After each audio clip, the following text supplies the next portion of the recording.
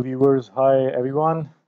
So let's talk about the top five trends of 2020 to make good business or to kind of you know have maybe a very well paid job or jobs you know to okay in these fields you know in 2020 these five fields top five fields you will have a lot of job creation and a lot of business most probably uh, so number one is business business intelligence. You know, business intelligence is is like uh, you know different companies uh, or enterprises. They are trying to you know find you know better strategies or technologies. You know, so that they can better manipulate the data or kind of you know process the data in a, in a much better way to make certain business and technological decisions you know. Uh, business intelligence is becoming more and more you know advanced because we have you know iot and you know blockchains and all these technologies due to which you know there are millions and especially because of iot billions of devices are going to come into the industry in the near future. So tons and tons of data is going to come. So in order to you know process that data in a better way. The companies are finding more and better solutions and tools to you know implement uh, like developing better tools to to make the business intelligence process more and more you know um, intelligent robust and you know uh, kind of you know uh, to kind of automate it more you know.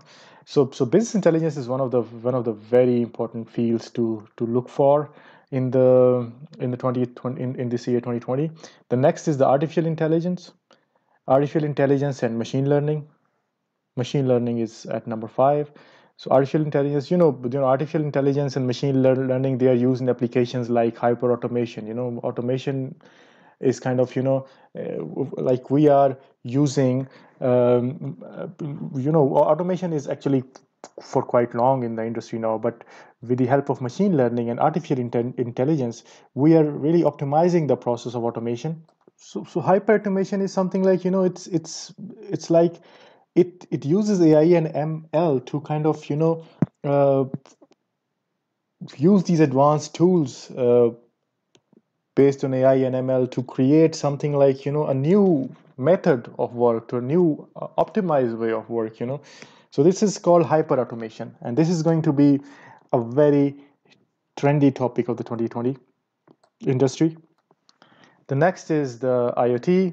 Of course, we already know about Internet of Things. We have known different applications of Internet of Things in smart farming, smart homing, smart vehicles, traffic controls, health, logistics in every industry. So I think in this 2020, many, many companies are new companies are going to be formed in 2020 many more products are going to come from the existing companies and this is going to be an year where millions billions of new devices will come into the market. And that will of course create a lot of jobs and a lot of business opportunities.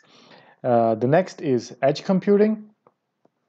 Edge computing as we all know is uh, kind of you know uh, an advancement of cloud computing because we uh, want to you know remove these latency and uh, network problem issues with the cloud computing. So we want to provide our cloud services to our iot applications uh, or our smart devices more in their closer network area you know so that they don't have to you know communicate with the cloud while making the the computing and while, while, while making the data storage or making while doing data storage or making the, the computing computing process you know work. So this edge computing is also one of the topics to look for and uh, that's it machine learning as we've already explained.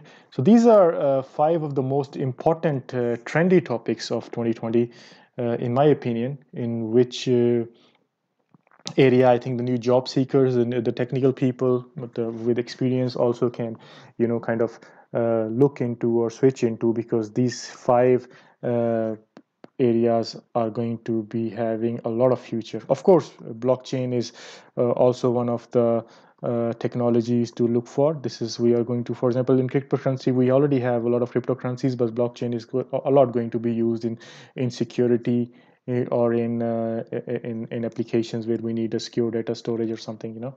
Uh, so that's that's it for now